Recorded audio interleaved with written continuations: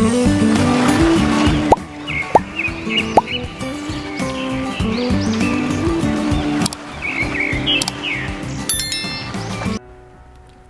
chào tất cả quý vị khán giả đã quay trở lại kênh Mission Thiện 안녕하세요 Mission입니다 Quay trở lại phần 35 ngày hôm nay đó quý vị Thì à, à, Mission xin thông báo đến tất cả mọi người là Mission đã xuất viện Và hôm nay Mission cũng khỏe rồi nha quý vị Tức là khỏe nó không còn đau nữa Nhưng mà vẫn còn uống thuốc Chỉ ăn cháo trắng thôi nha quý vị Cho nên là Mission xin cảm ơn tất cả mọi người đã quan tâm đến sức khỏe của Mission à Và bây giờ thì Mission à, khỏe rồi nha quý vị Ngày hôm nay thì Mission sẽ lên chia sẻ về cái vấn đề này Nó có rất là nhiều nha quý vị Đầu tiên thì Mission sẽ chia sẻ về cái thư quà giải của Hồng Loan gửi đến cô Sáu Hồng Nhung nha quý vị.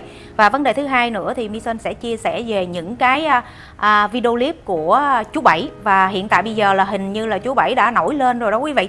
Chú Bảy không còn im lặng như hồi trước nữa. Và vấn đề cuối cùng là có rất là nhiều khán giả là yêu cầu Mission nói về cái vấn đề của cái bé hoa hậu Ý Nhi. À, cho nên phần 35 ngày hôm nay thì Mission sẽ chia sẻ về những cái đề tài này nha quý vị. À, và đầu tiên Mission sẽ chia sẻ cái bình luận của vị khán giả quan tâm đến sức khỏe của Mission rất là dễ thương quý vị. Cái bình luận để như thế này quý vị trời ơi mình chuẩn bị đi ngủ rồi. Ông xã mở cái tivi xem thấy Mission lên clip vô bệnh viện lật đật xem liền. Hú hồn hà. Xem Mission còn nói chuyện được vui vẻ là rất mừng. Hai vợ chồng xem hết cái clip đến 12 giờ mới chịu đi ngủ. Chúc Mission mau chóng bình phục để còn làm clip cho mọi người xem nữa mọi người trông chờ chúc mi sinh thật nhiều sức khỏe. Thì à, cảm ơn chị rất là nhiều. Tại vì ngày hôm đó là thật sự ra là cái bệnh của mi sinh đó quý vị, thì à, nó rất là yếu về đề kháng. Cho nên là thay vì ví dụ như tất cả mọi người nó đều có cái đề kháng trong người, ví dụ như là mưa nè, cảm cúm nè, tất cả những cái bệnh khác, thì trong cơ thể mình nó có đề kháng, nó sẽ kháng cự lại những cái bệnh đó, nó làm cho mình sẽ nhanh chóng hồi phục. Còn cái bệnh lupus ban đỏ là không có đề kháng, tức là trong cơ thể mình nó không có cái gì để nó bảo vệ mình hết. Cho nên những cái bệnh nhỏ xíu thôi, hắt hơi sổ mũi đồ này kia, hoặc là ăn bị nhiễm trùng, hoặc là những cái bệnh nhỏ, quý vị, thì nó cũng làm cho mệt và cấp cứu. Và khi mà mệt rồi, nó sẽ làm cho mình bị khó thở. Vì à, cái bệnh của Mason đó, quý vị, thì nhập viện nhập viện ra viện thì nó bình thường, bệnh viện cũng giống y hệt như nhà, nó quen rồi, quý vị, không sao hết á. Ăn uống mà cái chỗ nào mà nó không có đủ vệ sinh là nó cũng nhập viện, rồi ăn uống những cái món nào mà nó không chịu trong cơ thể, rồi nó cũng nhập viện hả quý vị? Cho nên là mọi người đừng có lo nha. Mison khỏe lắm, không sao hết. Rồi bây giờ là Mison sẽ đi thẳng vào vấn đề chia sẻ cái thư của em Hồng Loan, gửi quà giải đến cô Sáu nha quý vị. Thì cái nội dung của em Hồng Loan ghi như thế này đây quý vị. Thư ngõ gửi đến cô Sáu ngày 30 tháng 7 năm 2023 nha quý vị. Thì à, cách đây mới có mấy ngày thôi quý vị. Có cái nội dung như thế này. Thưa cô Sáu, Võ Thị Hồng Nhung, Con đã suy nghĩ rất nhiều trước khi đưa ra quyết định này cho cô Sáu và Hồng Phượng. Lẽ ra cô cháu chúng ta có thể ngồi lại cùng nhau giải quyết tất cả mọi việc trong gia đình một cách bình thường như những gia đình khác, chứ không phải dùng đến cách này gửi bằng văn bản để trò chuyện với nhau. Tuy nhiên, sự việc bây giờ nó đã đi quá xa. Từ câu chuyện trong nhà đã trở thành một câu chuyện của xã hội bàn luận nên con nghĩ cả cô Sáu, Hồng Phượng và con cũng cần suy nghĩ thật kỹ trước khi đưa ra các quyết định. Tiếp theo để giải quyết việc gia đình mình, Chuyện cũng đã xảy ra rồi.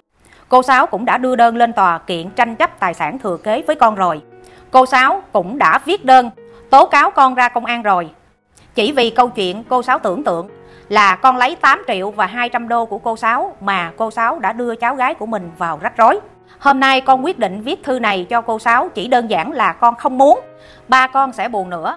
Thời gian qua, ba của con đã rất buồn vì những chuyện đã xảy ra.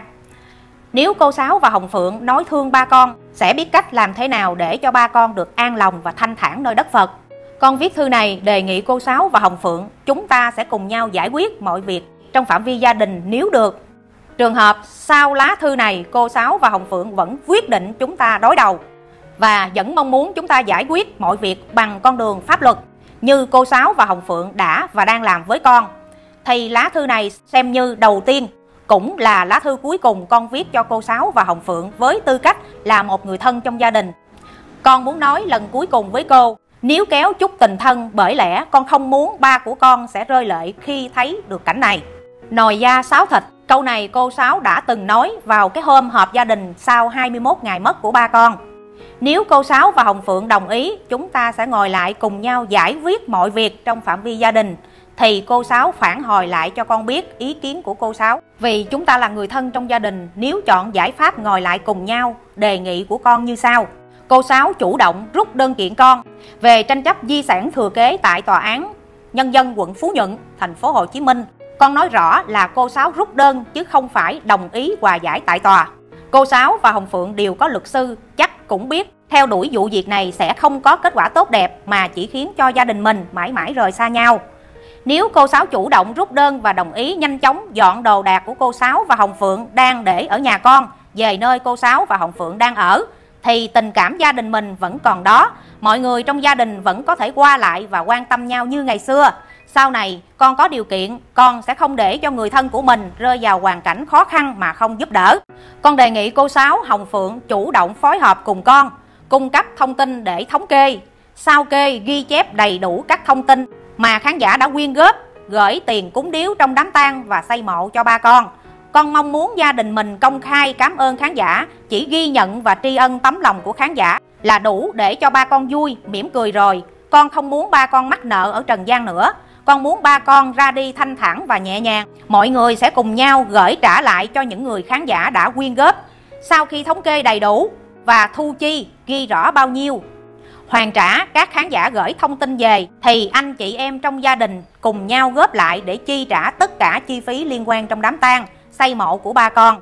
Gia đình mình ngoài con, giờ con đã có việc buôn bán. Có thể lo chi phí, con tin rằng anh hai vũ linh và chị ba bình tinh cũng sẽ mong muốn như con, để cho ba con được yên nghỉ. Cuối cùng, con đề nghị cô sáu và hồng phượng chủ động phối hợp với con và thống kê rõ ràng minh bạch về khoản doanh thu và đã khai thác từ công ty truyền thông được hợp đồng quỹ quyền quản lý và bảo vệ hình ảnh trên internet số 63 năm 2023 hợp đồng BH Media ngày 6 tháng 3 năm 2023 giữa Lê Thị Hồng Phượng với công ty cổ phần thương mại và dịch vụ truyền thông Bihaco mà tới nay vẫn chưa biết Hồng Phượng đang giữ bao nhiêu tiền từ việc này. Sau khi thống kê rõ ràng, gia đình sẽ họp lại lấy ý kiến đề xuất việc sử dụng số tiền này như thế nào cho tốt nhất. Có thể giữ gìn hình ảnh của ba con, nghệ sĩ ưu tú Vũ Linh mãi đẹp trong lòng của người hâm mộ. Trường hợp cô Sáu Hồng Phượng không trả lời đề nghị này của con thì con hiểu rằng cô Sáu và Hồng Phượng không đồng ý với đề nghị của con thì con buộc phải chọn giải pháp giải quyết bằng quy định của pháp luật. Con gái của ông Võ Văn Ngoan Võ Thị Hồng Loan. Thì à, qua cái thư ngõ này đó quý vị thì em Hồng Loan mới gửi đến cô Sáu Hồng Nhung là ngày 30 tháng 7 thì hôm nay thì mới có ngày 3 tây tháng 8 thì cách đây mới có 3 ngày thôi quý vị. Và chưa có nhận được cái sự phản hồi của cô Sáu nha quý vị. Thì trong đây Hồng Loan đề nghị có những cái vấn đề như thế này. Thứ nhất là Hồng Loan đề nghị là cô Sáu rút đơn ở trên tòa án, tranh chấp về cái vụ kiện mà tài sản quyền thừa kế của Hồng Loan á. Thì thật sự là cái vụ này đó quý vị à, Hồng Loan nó nói như vậy là nó đã có tình có nghĩa lắm đó quý vị. Chứ nếu như mà bây giờ cô Sáu cứ đi thẳng mà thưa tranh chấp về cái vấn đề mà kiện tụng cái quyền thừa kế á, thì bảo đảm là cô Sáu sẽ không có thắng. Vì bên cô Sáu cũng có luật sư. Cứ hỏi ý kiến của luật sư đi cái vụ án này có thắng hay không. Cái vấn đề thứ hai mà nó nói rằng là cô cháu của mình nên ngồi lại với nhau để bàn bạc để đưa ra cái quyết định vì nó không có muốn là tình cảm của cô cháu mình sức mẻ muốn quay trở lại y hệt như xưa nhưng mà do cô Sáu với lại Hồng Phượng đã thưa Hồng Loan đi ra tòa án và đi ra công an. Nhưng cái thư ngõ này, nếu như cô Sáu rút đơn lại thì Hồng Loan sẵn sàng tha thứ những cái việc làm của cô Sáu và Hồng Phượng. Thì cái đề nghị này nó đầy tính nhân văn, quý vị. Cái đề nghị này nó đầy cái tình người ở trong đó. Tại vì em Hồng Loan nó muốn tạo cho cô Sáu và Hồng Phượng còn một cái con đường. Cái vấn đề thứ hai nữa là nó yêu cầu cô Sáu, vấn đề này cũng rất là dễ dàng. Là nó muốn rõ ràng cái vấn đề quyên góp và hiện tại bây giờ nó cũng đã có mua bán có thu nhập rồi. Thì cộng lại coi là cái tiền mai táng bao nhiêu tiền mộ bao nhiêu thì sẽ cộng lại. Và cái tiền mà thu của cái đám tang bao nhiêu nếu như mà thu đám tang mà nó dư á, thì không sao. Còn nếu như mà thu trong cái đám tang thu vô ít mà chi ra nhiều thì nó và chị ba bình tinh rồi anh hai vũ lưng cũng sẵn sàng bỏ ra cái số tiền đó để lo cho ba nó. Còn cái số tiền của tất cả khán giả quyên góp thì trả lại hết cho mọi người, chỉ nhận cái tri ân của mọi người thôi. Tức là chỉ nhận cái tấm lòng của mọi người thôi, chứ không có nhận tiền của mọi người. Và nó yêu cầu này thì cũng rất là chính đáng luôn quý vị và không biết là cô sáu có đồng ý hay không. Còn cái vấn đề cuối cùng, nếu như, và hồng lân nó có nói một cái câu như thế này thì nó rất là cảm động quý vị. Con hiện tại bây giờ có công việc làm ăn mua bán. Nếu như con có tiền thì con không bao giờ để cho gia đình con ai phải khổ sở đâu. Con sẽ không để cho bất kỳ người nào phải khổ cả.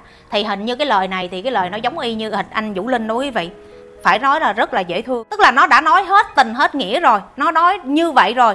Mà nếu như mà cô sáu với lại hồng phượng vẫn cương quyết là thưa kiện nó cho đến cùng, thì nếu như mà cô sáu không có trả lời lại cái thư này thì đồng nghĩa rằng là cô Sáu không muốn hòa giải. Đồng nghĩa rằng là cô Sáu muốn đi đến cùng. Thì Hồng Loan, ngay lúc này, nó sẽ không khoan nhượng nữa và nó sẽ làm đến cùng. Và một khi mà nó làm đến cùng rồi thì tôi bảo đảm với lại tất cả quý vị khán giả rằng là cô Sáu không nhận được một đồng nào mà thậm chí là phải là bán nhà hoặc có thể là tiền để dành dụm bao nhiêu lâu nay hoặc là cái tiền mà cúng điếu hay là cái tiền trong đám tang mà giữ lại bao nhiêu lâu đó là nó sẽ không cánh mà bay theo cái vụ kiện này đó quý vị. Tôi bảo đảm cô Sáu sẽ thua 100% bảo lãm luôn đó. Cho nên là nó làm cái thư ngõ này là phải nói rằng là nó đang chừa cái đường cho cô Sáu và em Hồng Phượng nó có một con đường đi. Và muốn cho mọi người quay trở lại như cũ, nó sẵn sàng tha thứ đó quý vị. Nhưng mà quan trọng là cô Sáu với lại Hồng Phượng có đồng ý hay không? Cô Sáu với Hồng Phượng có muốn hòa giải với nó hay không? Hay là cô Sáu với Hồng Phượng là muốn đi đến cùng? Tại vì á là bên phía của cô Sáu với Hồng Phượng. Không muốn cái vấn đề hòa giải tại vì Hồng Loan nó nói rồi chỉ là rút đơn kiện thôi chứ không phải là chịu hòa giải về vấn đề tài sản. Thì đúng rồi tài sản thuộc về nó mà sao hòa giải được quý vị? Đó là lực pháp đã chấp nhận rồi không thể nào chia cho cô Sáu với Hồng Phượng được. Thì sau khi mà thư, thư ngõ của em Hồng Loan gửi đến cô Sáu Hồng Nhung với là Hồng Phượng đó quý vị thì bây giờ tôi mời mọi người xem qua cái video clip này. À, nghe thử coi là bên phía của cô Sáu Hồng Nhung với là bên nội của em Hồng Loan có chịu cái hòa giải của em Hồng Loan hay không nha quý vị? Mời mọi người cùng nghe nha. Là lúc mà 21 ngày á, là cháu có phượng với chó, chú bảy của của của Loan luôn. Có nghĩa lên cười kiện là cái đó là nói, Loan không có không có có hưởng một cái gì hết trơn nha mọi người. Đính chính thông tin đặc biệt nha. Đó, đính chính thông tin đặc biệt như vậy là kiện là lấy hết.